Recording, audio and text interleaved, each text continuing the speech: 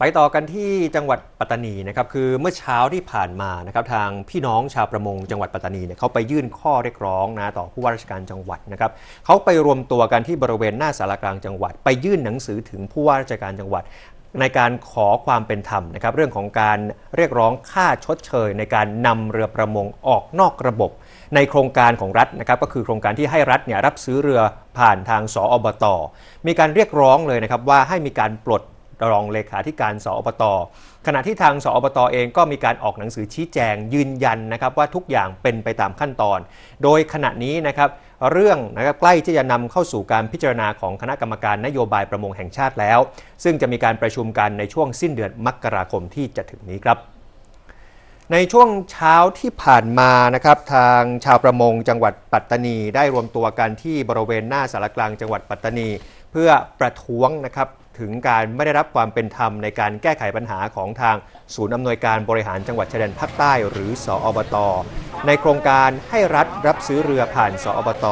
ที่ให้ผู้บริหารเนี่ยจัดการที่ผู้บริหารจัดการที่เกี่ยวข้องนะโดยตรงกับการประมงจังหวัดปัตตานี ไม่สามารถที่จะจัดการปัญหาต่างๆ ของชาวประมงนะที่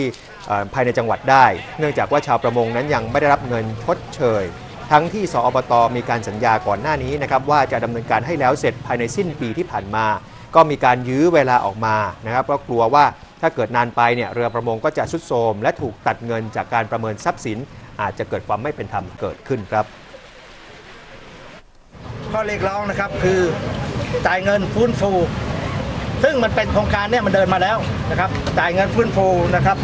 จะเป็นวันนี้เดือนนี้แต่เราคงไม่ได้ไม่ไม่ไม่ได้รอ ไม่ได้รอไปถึงทั้งปี เพราะก็จะเป็นเรารอมานานแล้วครับ เราอยากได้คำตอบที่มันชัดนะครับ แล้วก็เรื่องของเยียวยาเยียวยาในเรื่องของสูญเสียโอกาสไปแล้วนะครับสามสี่ปีมาเนี่ยท่านบอกเราทำโครงการมาตั้งแต่ปี62นะครับ แล้วก็มันเหมือนกับว่าเรือเนี่ยมันถูกการประเมินพอประเมินเนี่ยพอต่อมาสามสี่ปีเนี่ยประเมินเมื่อก่อนปีใหม่เนี่ยซึ่งเรือมันสภาพมันชุดโทรมไปแล้ว ท่านเข้ามา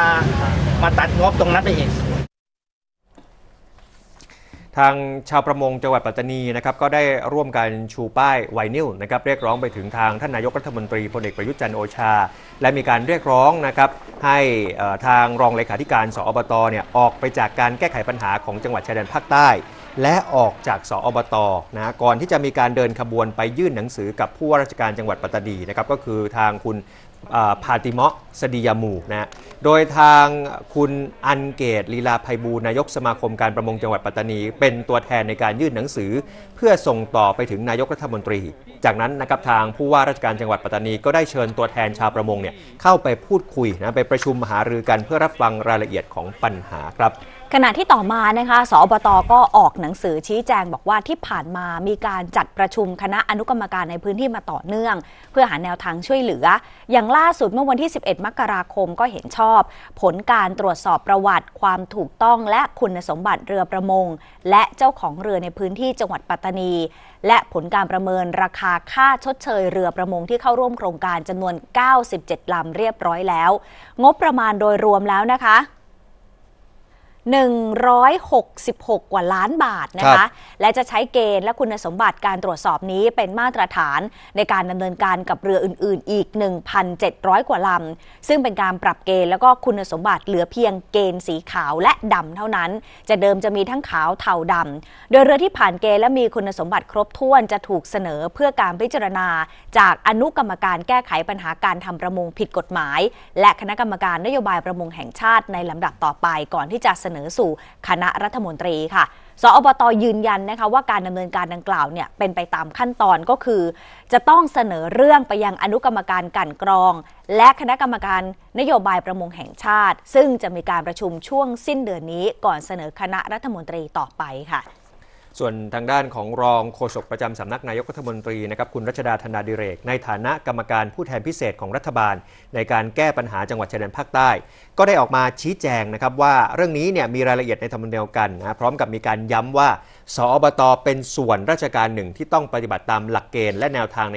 กลไกของระเบียบราชการ โดยต้องเสนอโครงการผ่านคณะกรรมการนโยบายประมงแห่งชาติ เพื่อให้การแก้ไขปัญหาประมง ของทั้งประเทศมีเอกภาพนะเกิดความเป็นธรรม และไม่เหลื่อมล้ำกับประมงในจังหวัดอื่น ๆ จึงขอเอเรียนนะครับให้พี่น้องชาวประมงเข้าใจในขั้นตอนทั้งหมด เพื่อให้เกิดความเข้าใจและคลายกังวล ทุกหน่วยงานของภาครัฐนะมีหน้าที่ในการเร่งรัดแก้ไขปัญหาให้กับพี่น้องประชาชน และนายกรัฐมนตรีก็ได้ทราบถึงปัญหานะครับในการดำเนินการตามขั้นตอนดังกล่าวเรียบร้อยแล้วนะครับ